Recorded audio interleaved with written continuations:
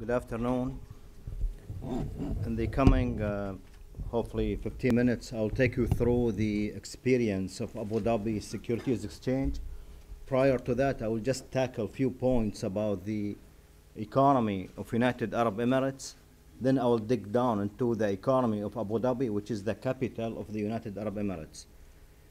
Um, thank you for the introduction. Uh, you are very much right when it comes to finding opportunities. Usually, religions, nationalities are not there. Usually, the opportunities which are available into the stock market or available into this kind of investment, this is what matters. And I am very much proud to be standing up here today and talk about the opportunities which are available in Abu Dhabi Securities Exchange.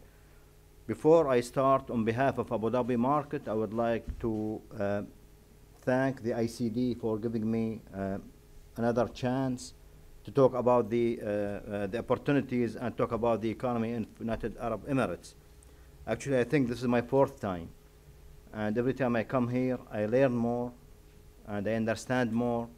And the beauty about such an environment is to get together, understand each other, and know where we are coming from.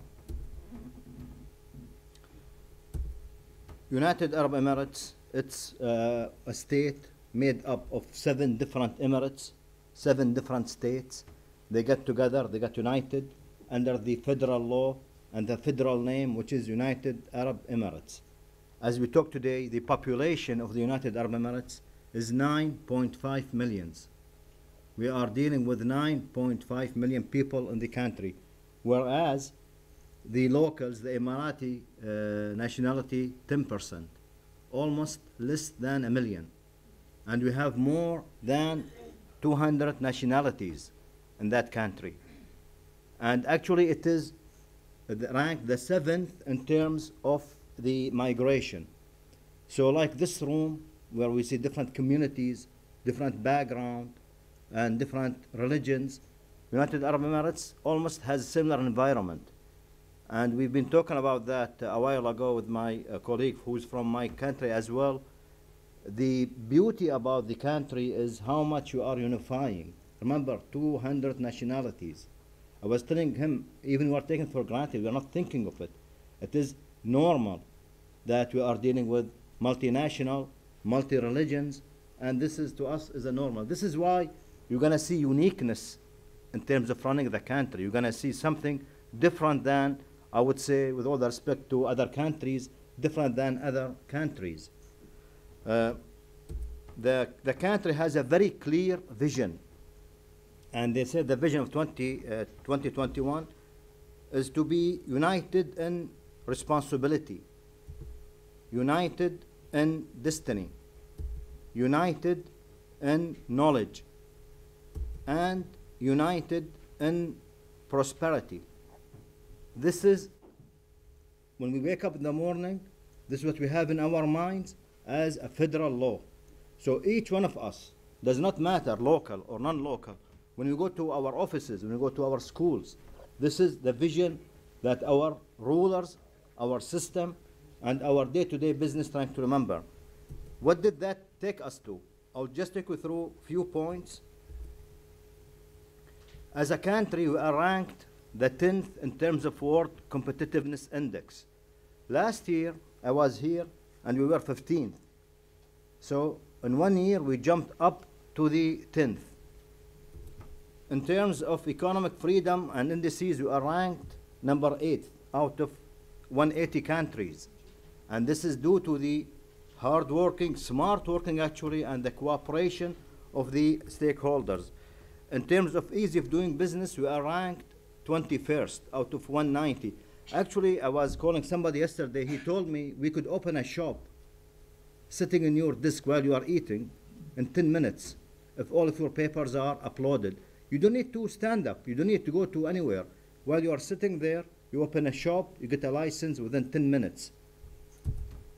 And we are, in terms of global innovation, we are ranked 35th. And remember, 2017 was the year of innovation. Uh, every year, a country name that year something. 2017 was the year of innovation. And we have, as entities working to the market, we have translated that. And this is the communication that we have in the country. In terms of the GDP, I'm not going to bother you after that delicious food about numbers, but it is, uh, you could see that the economy, despite all the challenges that we face globally, we are still looking at the positive growth of the economy. And uh, some claim that the, the, that growth is due to the oil, but that's not the case because they made it very clear that the country wants to, in 2021, to have dependencies in oil by 5% and 95% from non-oil sectors. Even the government stood up and they said within 50 years, that was almost five years ago, they said within 50 years, we're gonna send the last barrel of oil. What do we need to do with that? Do we need to celebrate or cry? And he said we have no choice but to celebrate those moments. And this is why, again, in our agenda, we are looking at the diversification methods of getting away from the oil.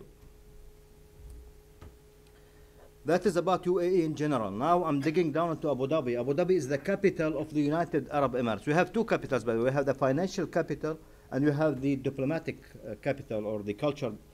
Abu Dhabi is the main capital of the country, while Dubai is the uh, uh, uh, uh, business capital of the country. So when we go to Abu Dhabi again, we see other key performance indices has been developed, improved, and uh, going up. When it comes to the top uh, cities indices, Abu Dhabi is ranked uh, number two after New York. And that, that puts a combination of how safe, how easy people in the country, how they are getting along, and people how they are doing business with each other. So, uh, touching the wood that we are ranked number two as a city. The Global Financial uh, Center indices, we are 25th. And now we have something called ADGM, is uh, a free zone that has been created to deal with the financial sector. I'm very sure that if I come next year again here, that 25th will be a history. We're going to be in the in the top uh, uh, uh, figures. In terms of innovation, Abu Dhabi is ranked 68 out of 500 cities globally. When it comes to the figures again, you could see the growth of the economy, the percentage growth of the economy. I was uh, chairman of the, uh, uh, remember we talked about the vision of UAE, then we have visions of the each Emirates, then in each Emirate we have sub-visions, economic vision, infrastructure vision, educational vision, um, different type of visions. I was heading the uh, committee uh, that is dealing with the economic vision. And I remember we put those figures, those, those numbers.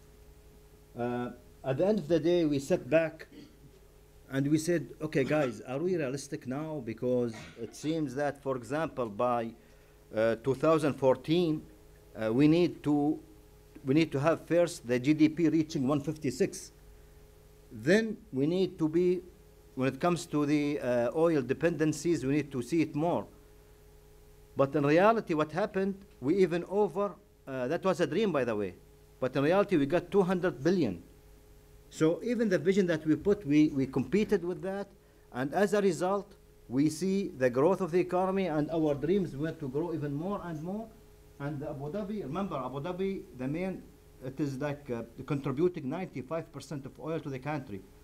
By 2030, we need to see 63% of the economy relies on products, services away from the oil.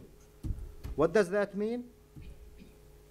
These are the sectors that uh, the country trying to diversify the, the, the, uh, uh, the economy away from oil. We're talking about mining, constructions, financial, education, uh, healthcare, all, all of those sectors that we are trying to stay away from oil.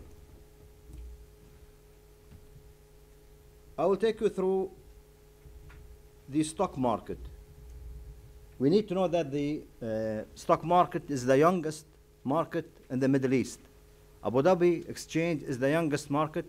It was established, we opened the door in November 2000. And by the way, I was the first employee of that market.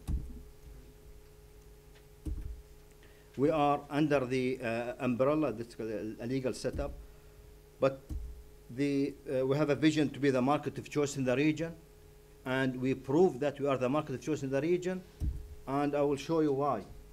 Uh, prior of 2000, prior of 2004, uh, we were closed internally, and we did not knock the door of the international investors. As a result, we have found out liquidity were not there, uh, the rules, regulations, we had some, some difficulties dealing with that. So starting at the year 2004, and this is very important to mention that today when we talk about the uh, culture of diplomacy, we started doing roadshows. We started to go abroad. We started to meet the, uh, the investors outside the, the, the, country. And we knocked, the first door was in, in, in New York. We went to London. We went to China. We went to Hong Kong, Singapore, Korea, Taiwan. And the reason of that was two things. First, we wanted to, we had successful story. We wanted to promote to the international community what opportunities that we have in our markets. Two, which is the most important thing, we wanted to come back to the country, bringing back the international best practice that suited us. And as a result, we are the first exchange in the Middle East brought something called uh, corporate governance, the code of the corporate governance. We are the first to introduce the XBRL. Actually, the XBRL, it's a language uh, for you who you may know the markets, it depends on information, depends on disclosure of the financial statements. XBRL is a program, a language that could be distributed and could be read by Indian, Chinese, American, Arabic, all different languages. So the purpose of that is to make it accessible, to make it easy for the investors to read the financial statements and to read the news of the stock market. Uh, we became part of the MSCI, and for those who know the financial markets, that's a big jump. What does it mean? It means pumping in of liquidity. It means getting money into the system of the country. And this I'm talking about the non-direct uh, investment, non-foreign direct investment.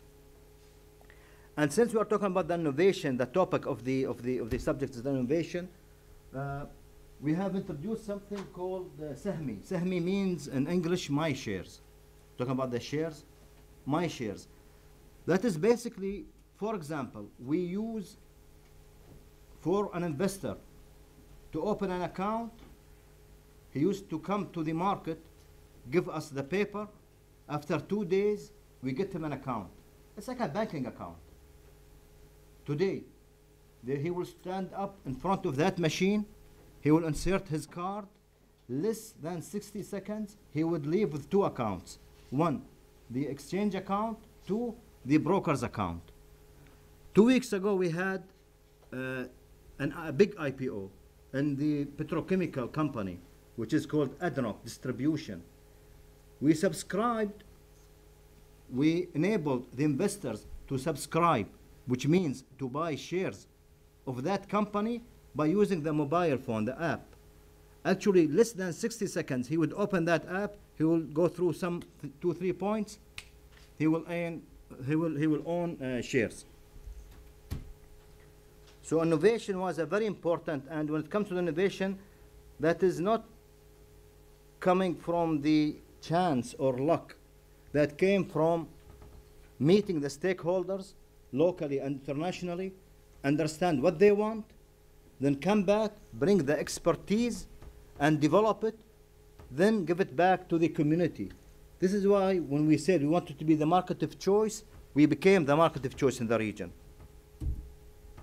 In terms of the, of the investors that we have in our market, as we talk today, we have 965 thousand investors.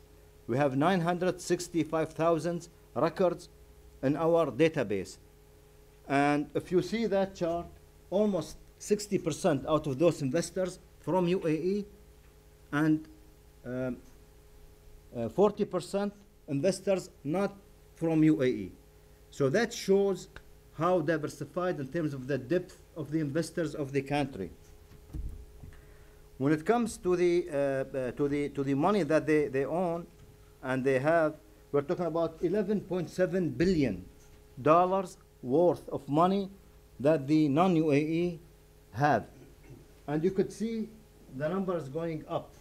And when it comes to the uh, trading value, at the first three, uh, nine months, I mean, the, three, the third quarter, we see them buying 4.3 billion dollar, while they are selling for uh, 4.9 uh, billion dollar. Sorry, it's the opposite. They have bought 4.9, they have sold uh, 4.5, which means their net position almost 400 millions and positive. And since uh, I'm in Europe, I could present here the European uh, database. We have 6,000 investors. They're having an account and they are coming from uh, Europe. And the, the, the shares that they have worth 2.7 uh, billion dollar. We have 5,673 international institutional investors. The world top 25 assets managers like HSBC, BlackRock, State Street, JP Morgan, they are all having accounts trading, operating in Abu Dhabi market. When it comes at the uh, government level,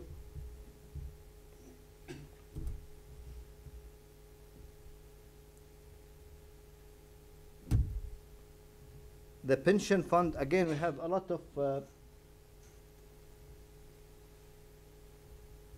I think the computer likes that chart a lot, so it doesn't want to move. This is your computer, sir? No. I'm the next. So I should pray that nothing gonna go wrong with that. Anyway, the, uh, the, the no, here we are.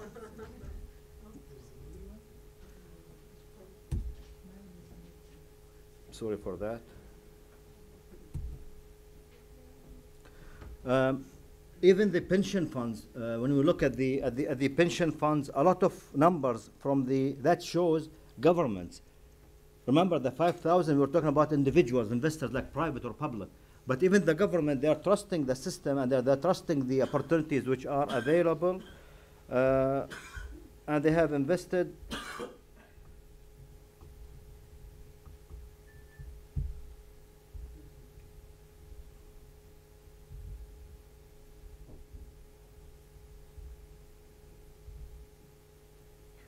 Why would they come and invest? Why, wh- wh- what's the reason for that?